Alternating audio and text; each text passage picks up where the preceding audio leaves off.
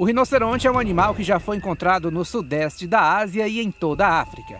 Hoje, três espécies de rinocerontes estão listadas como criticamente em perigo e agarradas a pequenos bolsões de habitat. Com seu chifre distinto e tamanho enorme, o rinoceronte é um dos animais mais exclusivos da Terra.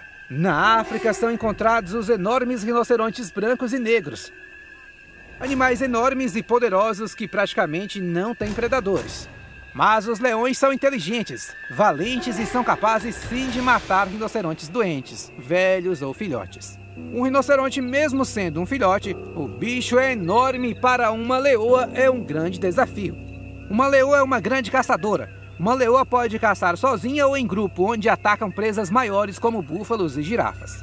Mas quando a possível presa é um rinoceronte, a leoa fica apenas desejando. Um rinoceronte branco pode pesar até 3.600 quilos. Um filhote é menor, mas mesmo assim seria muita carne. Daria para alimentar toda uma família de leões. Uma leoa sabe que atacar um filhote de rinoceronte protegido pela mãe não é uma boa ideia.